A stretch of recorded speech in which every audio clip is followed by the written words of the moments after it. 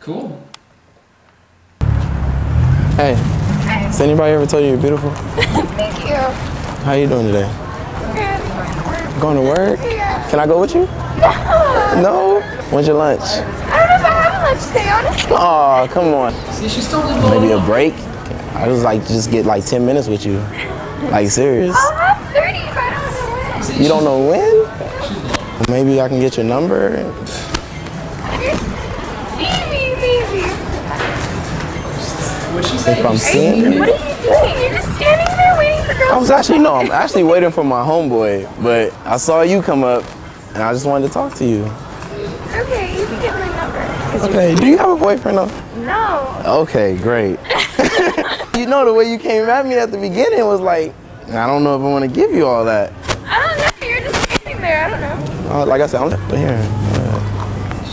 My hand is. fucking just giving her. I'm still around here in six hours. I can definitely hit you up.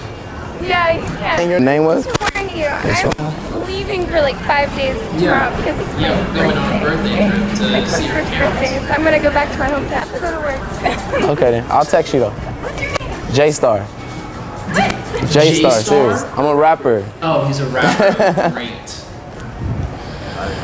Did she give him a fake number? No, so uh, No, that's she gave him her real number actually text her. We had him text her the next day to just say happy birthday kind of thing. I think, while we were together at the parents' house. I think you guys were together. Online, I don't know if you consider it cheating or whatnot. I mean, like, she denied being in a relationship with you. She Yeah. um, gave out her real number. Did you know she had jungle fever?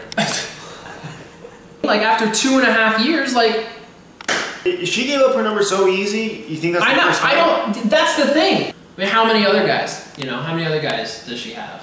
I'd be embarrassed if I were you. I am like in the fact that you're gonna.